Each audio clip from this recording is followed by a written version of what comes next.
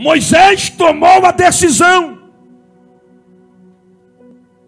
Moisés decidiu: eu tenho tudo. Porque o diabo ele pode nos dar muitas coisas, muitos bens financeiros. Podemos ter bens, sim. Podemos prosperar, sim. Mas nós temos que servir a. Não tem como servir a dois. As coisas de Deus não se misturam com as coisas do mundo. Então deixa eu te dizer uma coisa aqui, olha aqui para mim. Quem acha lindo um cantor do mundo cantando um hino de crente e dizer que coisa linda é porque não conhece a profundidade da Bíblia.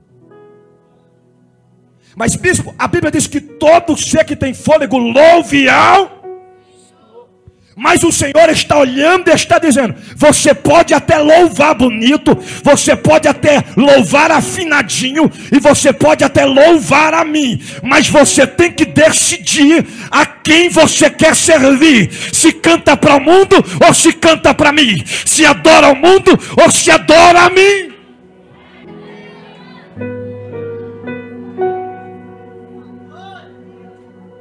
Hello, bom e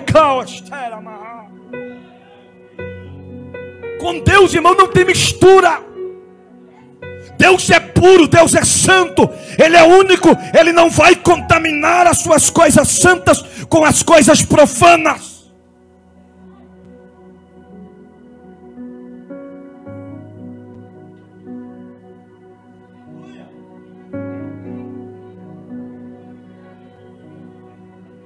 Porque agora virou moda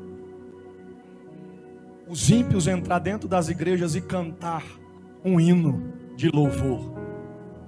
E a igreja dizer: Tu viu fulano de tal famoso, famosa, estava cantando um hino lá na igreja, querido.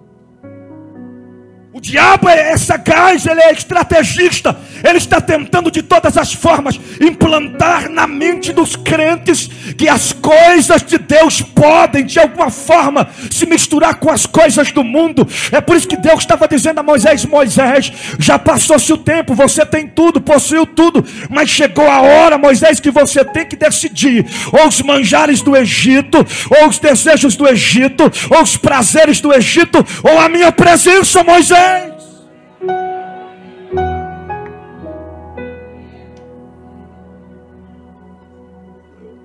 Gente que diz assim: eu sou cantor de pagode, eu canto todo dia na roda ali no, no mundo, mas é a minha profissão.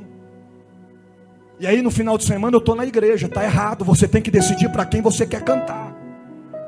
Aí eu, eu, eu sou cristão, mas eu sou artista da novela faz papel de traição, faz papel de mentira, faz papel de contenda e diz: Eu sou cristão, é a minha profissão, querido. Profissão é uma coisa, contaminação é outra.